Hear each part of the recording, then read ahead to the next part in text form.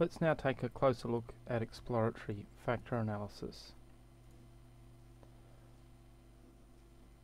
Uh, this part of the tutorial provides practical experience in conducting exploratory factor analyses uh, using several uh, data sets in SPSS.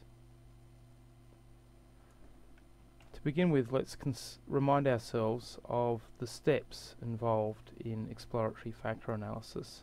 First of all, we need to test assumptions. They uh, relate to sample size and uh, factorability of the of the uh, correlation matrix. Secondly, we need to choose what type of factor analysis we're going to run. Uh, we can run either a principal components or a principal axis uh, factoring. Principal components is done when we want to analyze all the variance for of the variables and that's usually uh, for the purpose of later on constructing factor scores for use in other analyses.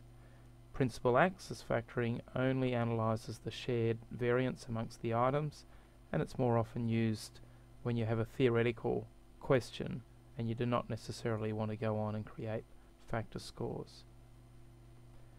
The second main decision about the type of analysis is the rotation.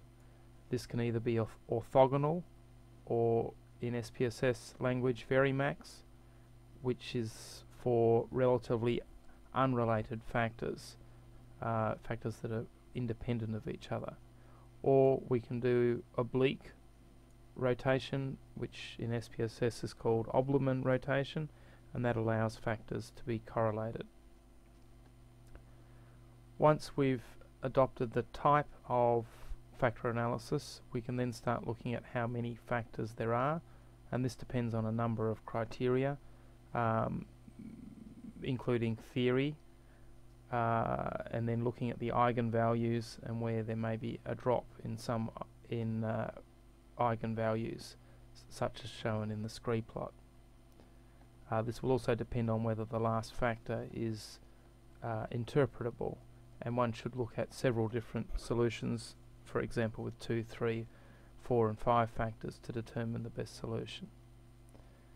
Once you've decided how many factors there are you can then look at which items belong to which factor and primarily if we're looking for a simple factor structure we're looking to see whether each item has a high loading on one factor and relatively low loadings on other factors.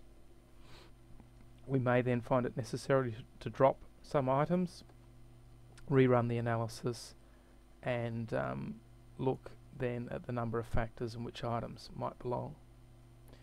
Once we've settled on the number of factors and which items we want to use, we can then name and define each factor. Having done that, uh, you can then look at the correlations between the factors, uh, the internal reliability of the factors, internal consistency, and, and compute composite scores if they're needed for use in subsequent analyses.